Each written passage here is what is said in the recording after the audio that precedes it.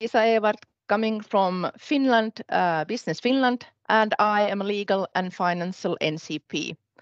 My topic is uh, exploitation, dissemination, and communication, and this is one of the webinars that are coming from Bridge to Horizon Europe project.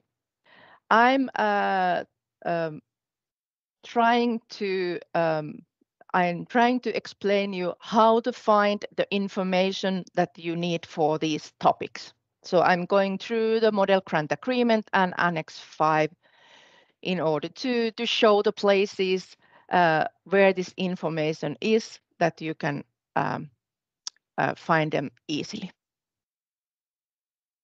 First of all, we need to know what we are talking about when we are talking about the exploitation, dissemination, and communication. They are, uh, the definitions are in Annex V. Uh, well, you should know by now that the the structure of the model grant agreement is that there is first the data sheet, that all the project-specific um, uh, details are. Then there are, then there is a um, kind of uh, funding terms and conditions, the core part of of the model grant agreement, and after that are annexes. And Annex 5 is specific rules and uh, uh, provisions concerning exploitation, dissemination, and uh, and dissemination were in the core part of model grant agreement in Horizon 2020 agreement, but now they are moved, transferred into the Annex V. Uh, they are not changed very much because as Commission has said in in several occasions, this is not a revolution, it's an evolution. So it means that uh, the text itself and the requirements are not changed uh, radically, but still there are some changes. But anyway, they are not in the articles inside the core part anymore. They are in Annex V, but they are still as uh, um, mandatory as they used to be. Well, exploitation is the use of results in further research and innovation activities other than those covered by the action Action uh, concerned.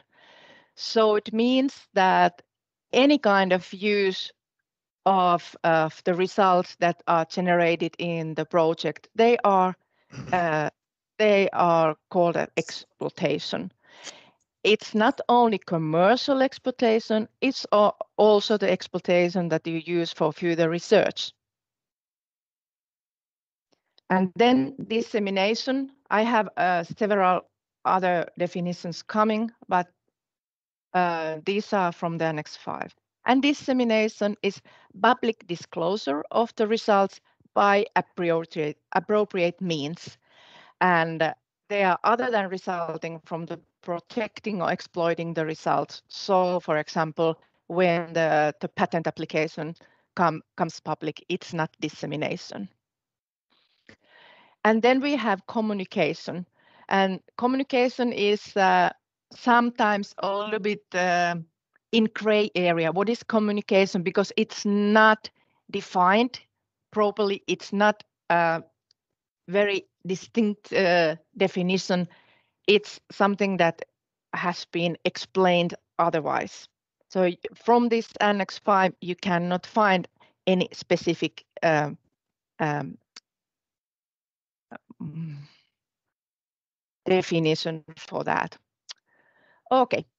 So where to find these definitions and Annex 5? As you can see in my presentation, there are lots of hyperlinks, so it's easy to go these um, um, documents from here.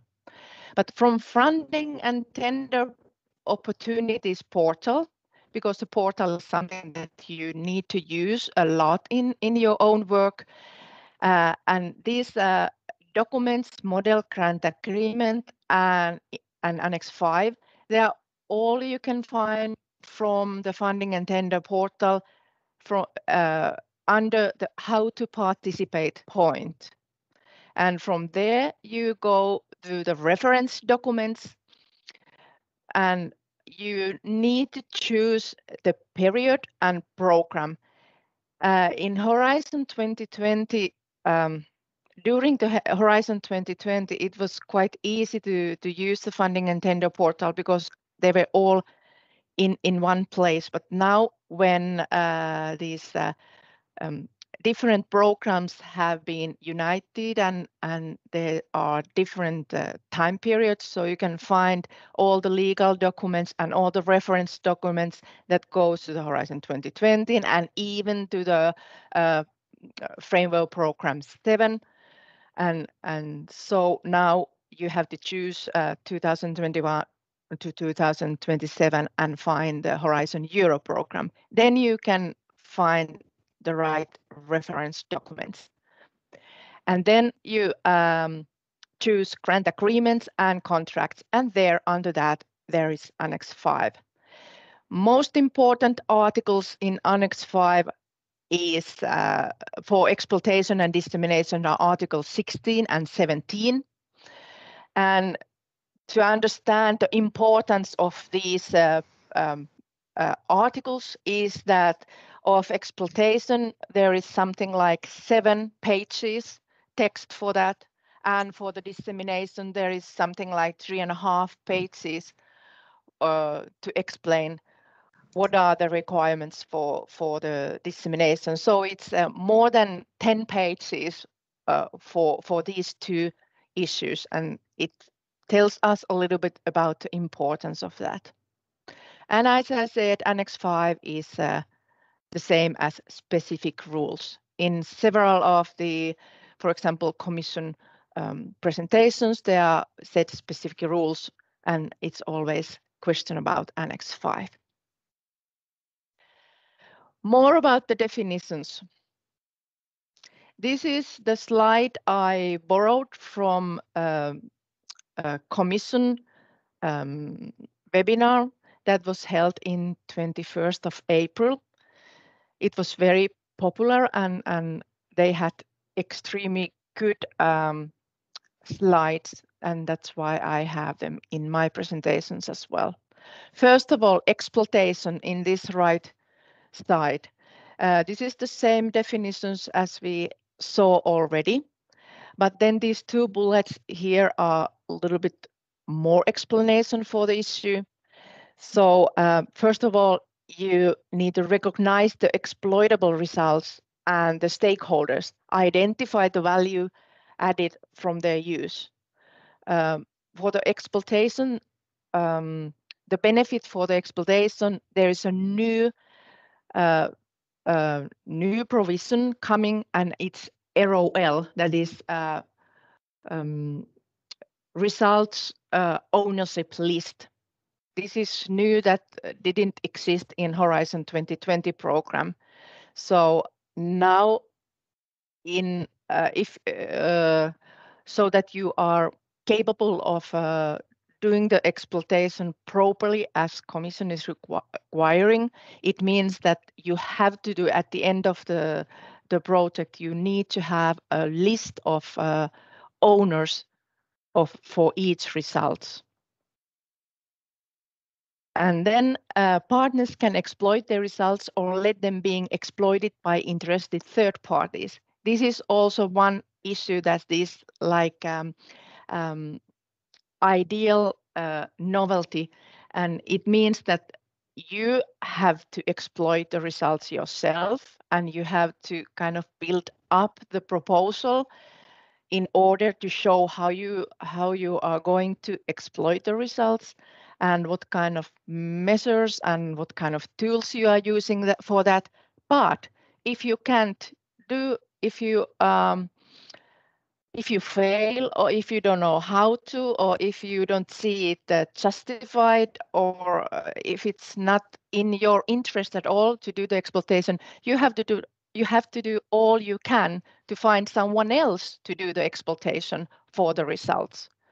So uh, uh, the requirements are not finished um, for that point that, okay, I have tried all my best, I have given my best effort to do the exploitation, but couldn't find any way to to exploit my results.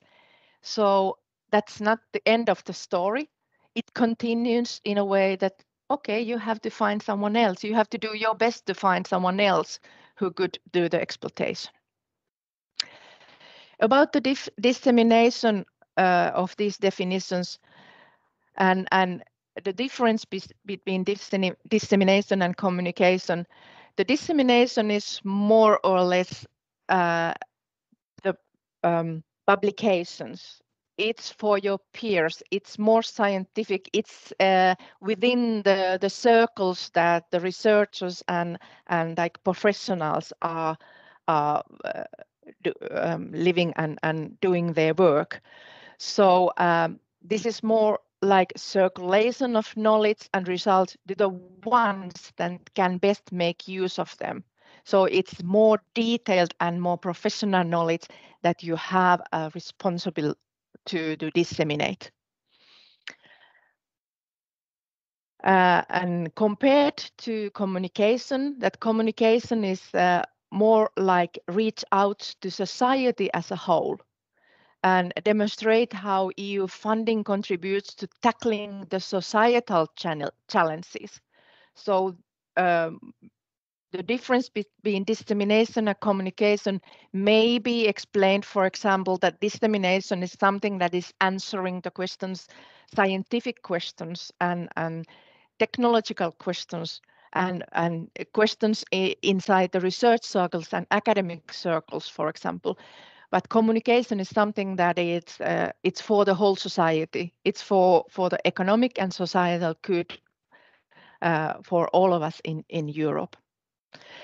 But nevertheless, uh, the dissemination is quite often in, in the proposal is very well explained. How many articles, in, in what channels, how we use open access. It's, it's quite clear for the researchers and, and, and consortiums how to do the dissemination. But communication is as important as, dissemination. It needs to uh, add value to your project and it needs to be coherent uh, for for the topic you have in, in, in your action in your project so it also um, it also requires um, knowledge how to do the, the the activities to communicate about your project to the big bigger audience And one issue that was explained uh, quite, I think, quite fast in in the in the commission commission webinar was this uh, key impact pathway. Uh, and also the proposal, the exploitation and dissemination activities uh, at your proposal should be and should follow the KIP, that is key impact pathway we have heard, we all have heard about KPIs, that is key performance indicators, but this is this has almost nothing to do with these issues. So uh, sometimes they these um, these acronyms are uh, uh, um, mixed. So KIP and KPIs they are they are not the same. Key impact pathway is a novelty that has been introduced for Horizon Europe. And I have uh, simplified a little bit the, the slides that we all saw, or those who follow the, the presentation of Commission. I have simplified a little bit that um, uh, presentation. And uh, here the first, first box is about implementation. We put all the input, we put funding and resources and inf infrastructure and everything to implement the actions and we generate results.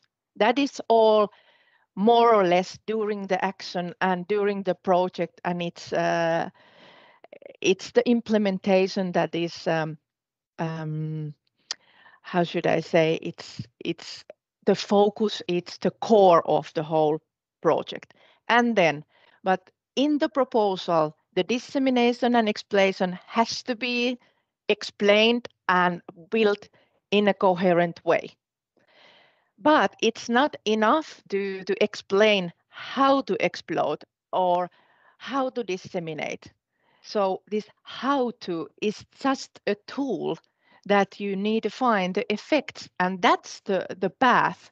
That's the key impact pathway. The impact comes from uh, impact comes uh, from uh, the point that you need to explain what we are going to have. This project contribution to the expected impact, impact need to be something that is measured how many percent you are going to have more of this, how much this is going to increase, how much we can produce it with less energy. So they are some kind of uh, numerical um, betterments or improvements that you can have through the exploitation. And also the project contribution its expected outcome and these are important, these effects, because they come from the work program. And this is very important in a way that when you are, when, when uh, the, uh, the pro proposals are written, there need to be answers to these effects. There need to be answers uh, of the challenges that have been uh, introduced in the work programs. So it's not enough to find the scientific impact. It's not enough the the research groups to to come up with the um, exploitation ideas and dissemination measures that uh, are targeted only for the scientific impact. There are as important impacts are societal impact and economic impact. And work programs are the key, uh, key elements to understand that when the proposals are written, there are these this kind of impact that uh, European Union and European Commission are looking for. And those are the expected outcomes and expected incomes. And if the proposal is written so that you can answer uh, for scientific impact, but societal and economic impact, then it's quite strong, the proposal. Um, the strategic approach is something that uh, I, I'd like to say a few words.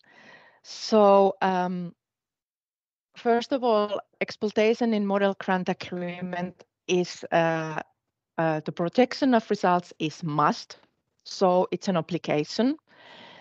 And this obligation is valid for during the, the project, but uh, uh more or less uh, four years after the after the project. Um, what I mean with this strategic uh, strategic approach is that it's it's not enough that uh, proposals in, is introducing all these normal uh, exploitation options or uh, protection options. So we we are applying for patent and we do the publications and we open the websites and uh, all these are only tools. More important is that in the proposal, the, the approach is strategic so that what what is the, the, the project and what are these expected outcome and expected incomes? That all the protection measures all the exploitation measures and everything that uh, will be introduced in the proposal should uh, contribute and should be coherent and should be logic logical end of this story. So because it is in the narrative part, so they should be a, a, a chain that all these points are supporting each other. Um, if there is, uh, for example, the, the policy is that it's completely open, uh, that you are using open source, for example, and everything. So why you are using lines for um, for for the, for um, protection so much? If you are using um, if you are using a patent, then you need to take care of the confidentiality and what part of the confidentiality is used. That's that's very very strategic issues that should be already discussed before uh, the write the the proposals. Okay, so uh, as I said, the exploitation of results is must issue in in um, model grant agreement. So it it goes with all the projects. If the success is not um, uh, um, if if you, you don't get success within a year after the pro, uh, project end, there is a Horizon Results platform you can use, or all the projects may use. So far, of course, there is no results from Horizon Europe uh, project, but I I strongly encourage people to go to to check what kind of uh, um, results you can find there, and uh, it's uh, you uh, it's uh, available from uh, in funding and tender opportunities portal as all of these um, issues and under the projects and results. And here are four points that uh, are important. The Horizon Results platform is for results, not for projects. Um, it's not to introduce the projects or find um, partners. It's not for networking for the project, but uh, networking for the exploitation of results. Uh, there's five minute videos you can down, uh, download there and uh, put uh, everybody can put um, uh, keywords that so you can find them and also you can use search filters uh, according to the country and according to the team and so on. There is no that's a, a quality check uh, um, on behalf of the commission. It means that it's up to you how how good video you produce to the results platform. But of course, uh, um, the main point is that you you put all the uh, keywords so that investors, partners, companies may find you. There also may be uh, additional exploitation obligations. They are in call conditions, and all of these conditions need to be answered in, in the proposal. One of the novelties is this uh, public emergency. Um, it's um, if uh, there it is said in the uh, call um, documents that this uh, project may include this uh, public emergency issue, then you cannot avoid uh, the obligation that the results may be asked to, to uh, provide non-exclusive licenses. This is one of the COVID-19 um, novelty, novelties, but it's not only for health, health purposes, they may be others as well. All these um, additional exploitation obligations and, and other specificities that comes along the work programs or call documents are always uh, written in, in the data sheet of the model grant agreement. But anyway, uh, um, in the proposals, there, there need to be um, a note for that. About the admissibility of uh, plan for the exploitation and dissemination of results, I'm not going to explain more than this that I have in this slide, because in, in general annex, And this is one one thing, as I said already in, in the beginning, that these um, uh, provisions and obligations and also um, um, guidance for the exp exploitation, dissemination, and communication issues, they are not to be found only in one document. They are now here and there. They are in, for, first of all, there are rules for participation. That's the, the main document for that. But anyway, they are in model grant agreement. They are in, in Article 16 and 17. They are Annex 5. You can find them. They are work program and, and call documents and general annex. So uh, this um, this entity, uh, uh if you say, uh, needs to be checked from several sources. It's not one paper that if you see the article in model grant agreement, it's all clear and done. So all these like five source documents need to be checked. Um, model grant agreement, Annex 5, that it's a um, part of the model grant agreement, and work program, and call documents, and general annex. Unfortunately, uh, so to say, IPR articles, as people quite often call them, they are uh, a little bit divided. Anyway, the plan for the exploitation and dissemination of results is uh, it's mandatory document, and Heli Kangas will uh, explain more about that. Um, the plan is not required for applications in the first place if the call is for two states uh, um, in, in two states evaluation. And here again, we come to this strategy for exploitation. So the closer the project is uh, like a ready uh, products or services or markets, because the, uh, it depends a little bit of of uh, the the results and a little bit of the um, how should I say it, their levels. So uh, how how ready the technology or the, the processes are to the market, then the, the approach needs to be even more strategic. And in that case, you have to explain it in, in a plan for the exploitation and dissemination.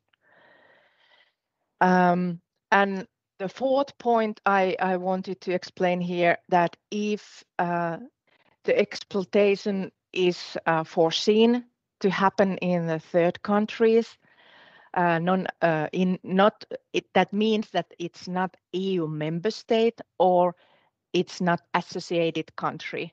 At the moment, there are, I think, 14 countries that are going uh, going through the negotiations if they have an association agreement with uh, with the Commission, with the EU, that then the associated countries are are more or less the same uh, at the same position and as the member states. And the third countries are all the countries outside this circle. Then you have to uh, explain why you why you are um, having this exploitation measures outside outside these circles and, and how they are still um, answering the EU interest. Um, more or less, this is explaining this societal impact and economical impact because they need to target uh, the European Union most and foremost. But if it's outside European Union and associated countries, then it it requires a little bit expl explanation. Results and research outputs, I put it into this material just to, to show from where to find these, uh, uh, these definitions. There are a lot of uh, obligations linked to the results, and there are a lot of uh, obligations linked to the research outputs, and they are a little bit different. These research outputs, we come come again when we are talking about a data management plan. They there is a data issues quite a lot uh, concerning the these, but the results are all the, uh, the tangible and intangible effect of the action. Then we go a little bit for the dissemination and communication. This I, I referred a little bit earlier uh, already, and this is also borrowed from the Commission's presentations, and it's easily explained here, uh, or easy explanations here that dissemination is for the results and, and more or less for the peers, the scientific peers. And communication is more to the project and about the results and for the multiple audiences. This is very good slide, so I wanted to include it in my presentation as well. Also, I have two slides from the same presentation from the Commission, and I wanted to uh, include it into this presentation um, to explain a little bit more about the dissemination explanation, how to measure measures to maximize, how to maximize these uh, dissemination and explanation exploitation measures in, in the proposal and in the project. Of the communication, it's important to understand this and, and, and make familiar yourself with this because the communication measures are not uh, def they they don't have definitions in the model grant agreement and also because we don't have a annotated model grant agreement yet. So this is more or less uh, the only guidance from the commission side at at this point what it means uh, to have the communication measures to maximize the impact and maximize the uh, your uh, the excellence in, in your proposal. So that's why I have this slide here because uh, this is, I think, the best explanation so far. What is the communication? How how we should uh, approach this issue? I think all these texts will be included in annotated model grant agreement later on, but at the moment we still don't have that document, so that's why it's it's good to understand it through this explanation. About the cost of the dissemination, just a few words. Um, first of all, about the dissemination, they are the activities that must be agreed between the cooperating partners.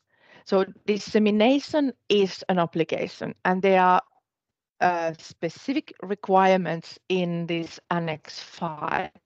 But anyway, in the consortium, in all the mono, uh, multi-beneficiary project, it it's essential that that the participants, the beneficiaries, are agreeing together how to come up with what kind of dissemination activities and at which point of the project and which point after the project end uh, they they will be done because uh, this is something that uh, needs to be shown in the proposal that they are coherent and, and that everybody understands their own um, uh, confidential uh, confidentialities and, and their loyalties uh, within each other.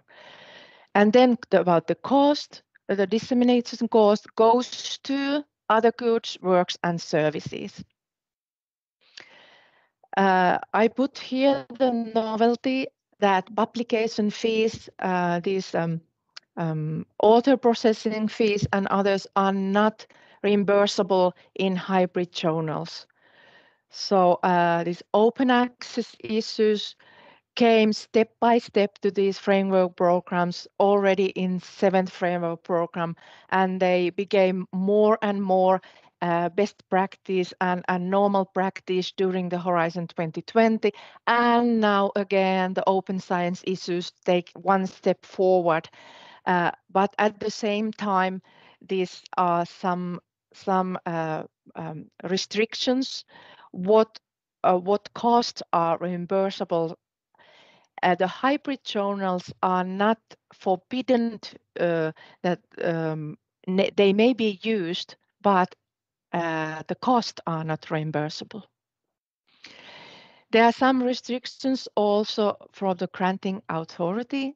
So as as we know, the the the granting authority, for example, commission, they uh, can use the information coming from the uh, uh, coming from these uh, projects for the info information purposes, communication purposes. They can use this as uh, as when they are telling about the success stories and so on.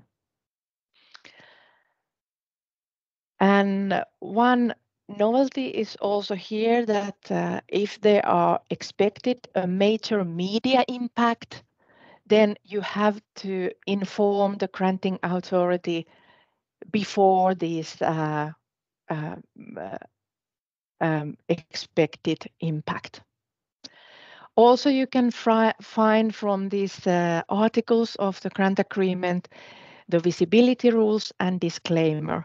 This means that uh, the emblem, the EU emblem, and and uh, the note notice that okay this project has received funding from this and this program. It should be always mentioned but the disclaimer means that uh, of the results or the exploit exploitation of the results the commission is not uh, responsible for. Ah sorry. And then my last uh, slide is of links because now uh, the model grant agreement version 1.0 has been published a few weeks ago. Uh, this is the whole, um, uh, I had the hyperlink in the, the presentations before, but here is the whole link for that. It's still a PDF file. Commission uh, explained that it may be the uh, online, the, the e, e um, how should I, I don't know the name, but anyway, used in, in, in internet, but at the moment there is no work for that. So still we are using the PDF file and I don't know how long this will be. And uh, this goes also to the annotated model grant, grant, grant agreement. And Horizon main work program uh, this general annex, annexes I was I referred. Uh, it's the uh, um, annex 13 and maybe find from here. And I have several in several occasions I have uh, referred to uh, the webinars that Commission has had in first was in the end of March and the other was end of 21st of April excellent webinars, very good presentations, and these two links go to the event pages and all the, the presentations are available from there. So I, I I can recommend I can I can easily recommend to to use and benefit from these uh, um, webinars and